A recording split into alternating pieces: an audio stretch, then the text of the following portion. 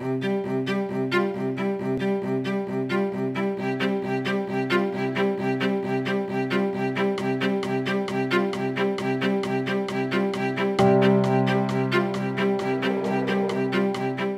goal of this new institute is to bring together academics and pharmaceutical company scientists to make the process of moving ideas from the academic institution into useful patient drugs and diagnostic agents.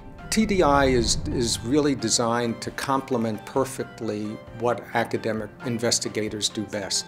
People in universities are very good at innovation and identifying pathways that if we could alter them, usually inhibiting them, sometimes increasing them, we could treat disease basically or prevent it. That's the mountain on one side. The mountain on the other side is drug development. Uh, we're not good at that.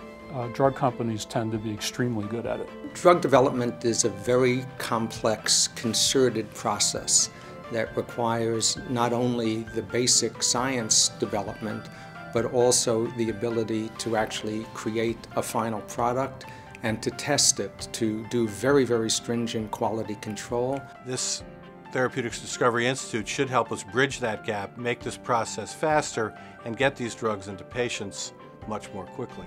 In the work that we're doing to prevent and treat pediatric respiratory viruses, TDI is exactly what we need right now. Because we have the science, we understand the steps that viruses use to infect, we have molecules that we can use to block those steps, but we can't turn those into drugs that could actually be used in children. About four years of work here.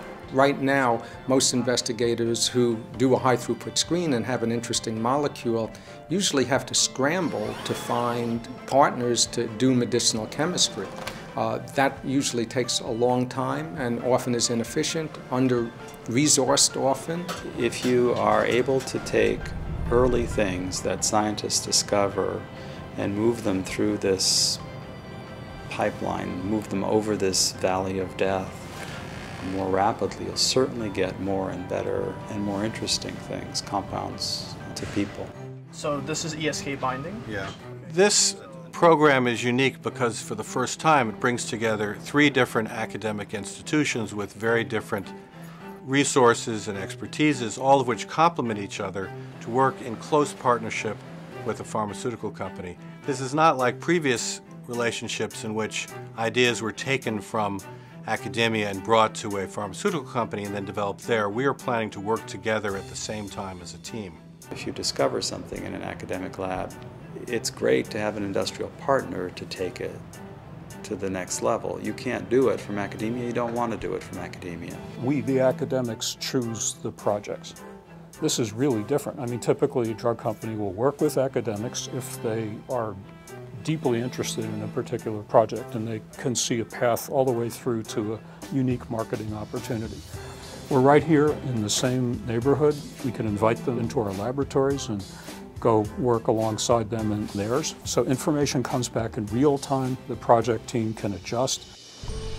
One of the very exciting aspects of this new program is it will allow us to develop drugs for neglected diseases and orphan diseases.